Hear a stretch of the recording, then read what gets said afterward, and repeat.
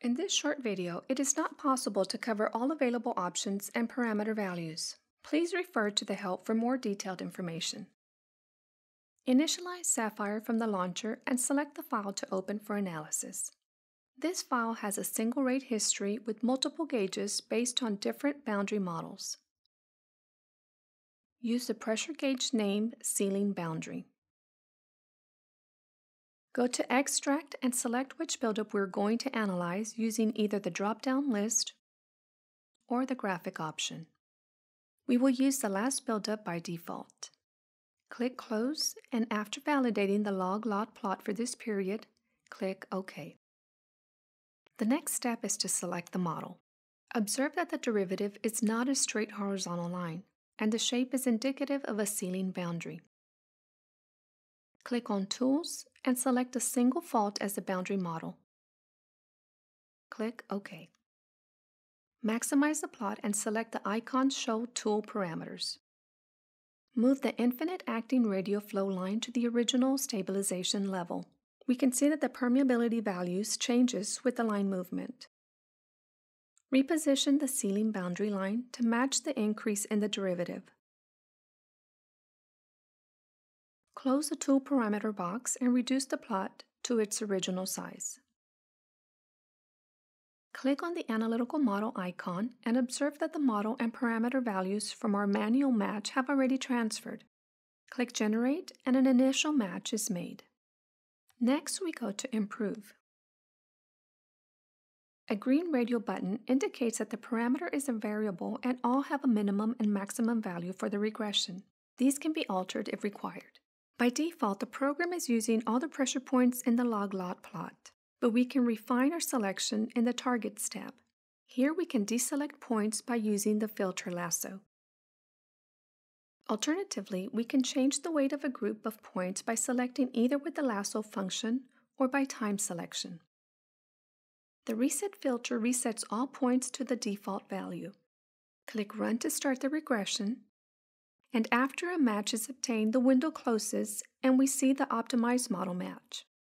The tool lines are no longer needed, and so a right click in the plot enables deselection of Show Tools. A summary of the results appears in the box to the right. Full results can be shown by double-clicking on this box or under the Results button in the top toolbar. Double-click on the Analysis tab at the top and rename it Sealing Boundary. The next model is a leaky fault. Create a new analysis by clicking on New Analysis. Keep all input parameters ticked. In the New Analysis window, we go to the Pressure drop-down list on the top toolbar and select Leaky Boundary. We can extract the last buildup using the default extraction parameters with the keyboard shortcut. For this, we press the Shift key and the keyboard and simultaneously click the Extract button. After extraction, select the Tools option, Leaky Fault Boundary. Right-click in the log-log plot and activate Show Tool Parameters. Adjust the infinite acting radial flow line to the correct level. The leaky fault line has two handles. The one on the left is for distance, the other adjusts the leakage. Please note that a zero leakage value means that the boundary is sealing. After the manual match, close the Tool Parameters window. We can use the same type of keyboard shortcut to get an initial match. Select Shift on the keyboard and simultaneously click on the Analytical Model icon. After this automatic generation of the model, we can continue with the Shift Improve to optimize on all parameters. We do a right-click in the plot and deselect Show Tools. We rename this analysis Leaky Boundary. We create a new analysis based on the current, but untick all boxes. We now go through all the steps as if making a completely new analysis. However, the reservoir and PVT data from the previous analysis are preloaded. Clicking through the windows, at step 5, we select an infinite reservoir. We change the pressure channel in the drop-down list to parallel faults and shift extract to create a diagnostic log-log plot using the default extraction parameters. We reposition the KH line to match the initial infinite acting radial flow period and shift the wellbore storage unit slope line. In the Tools section and in the Boundary Model, we select Channel. Click OK and see the tool parameters by a right-click in the log-log plot and by selecting Show Tool Parameters. We move the anchors to match the pressure derivative data, observing that the distance to the boundaries changes. Close the Tool Parameter window. Using the keyboard shortcut Shift Analytical to create a match based on our selected model. To optimize the match, select Shift Improve.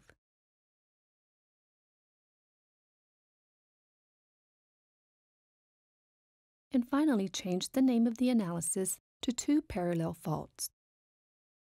We create a new analysis based on the leaky boundary analysis, but untick all boxes. Again, we go through all the steps as if making a completely new analysis. However, at step 5, we select an infinite reservoir. We now change the pressure channel to two intersecting faults.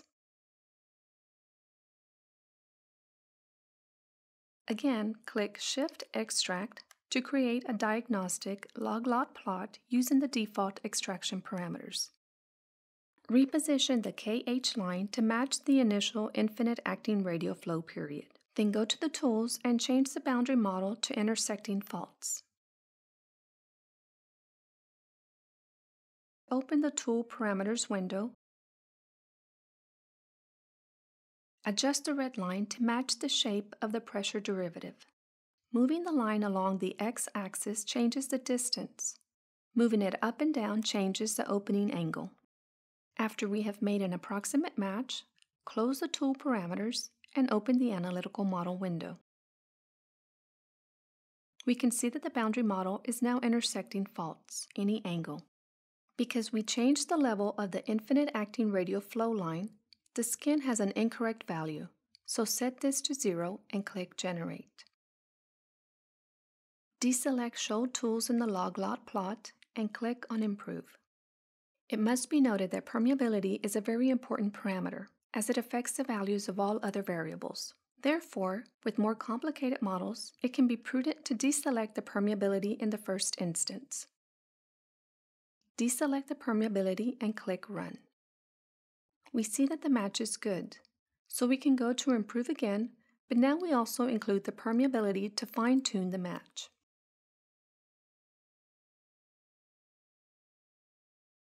Finally, change the analysis name to two intersecting faults. Now create a new analysis based on the present one, but with the boxes unticked.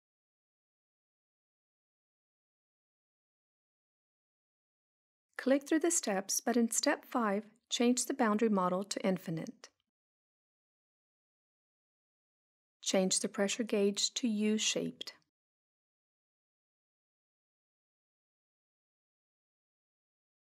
Use Shift Extract to make a log-log plot of the last buildup period with the default extraction parameters.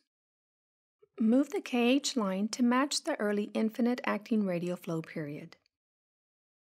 Next, click on the Tools icon and select Rectangle for the boundary model. Also open the Show Tool Parameters box. We observe four triangles in our diagnostic log-log plot indicating the distance to the four boundaries. We only have three boundaries here, so effectively move the north boundary to infinity.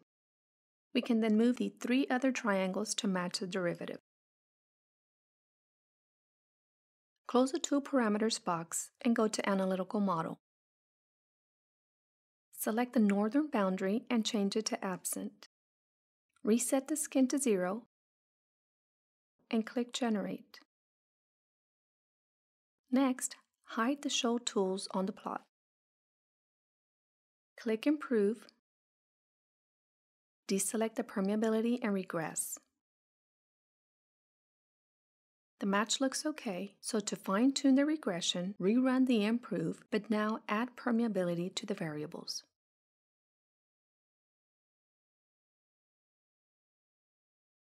Rename the analysis U-shaped. We will now create a new analysis based on this one, but with the box from the Keep All Input Parameters option ticked, change the pressure channel to closed rectangle. Do a shift extract to analyze the last buildup using the default extraction parameters. Open the Show Tool Parameters window. Move the KH line to the initial stabilization level and then move the faults to match the shape of the derivative.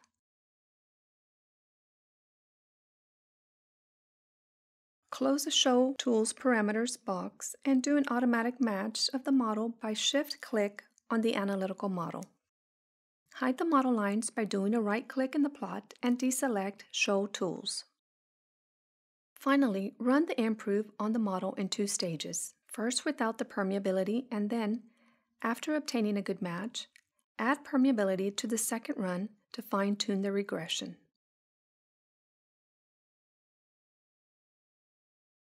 Rename this analysis Closed Rectangle. We can compare different matches by clicking on the Compare icon at the top, making a selection of the required models to compare. We can see that the respective shapes are displayed in all the plots.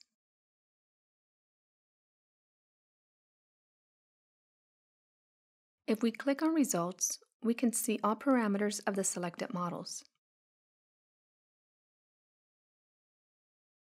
Click Close in the Compare window to go back to the Standard Analysis window.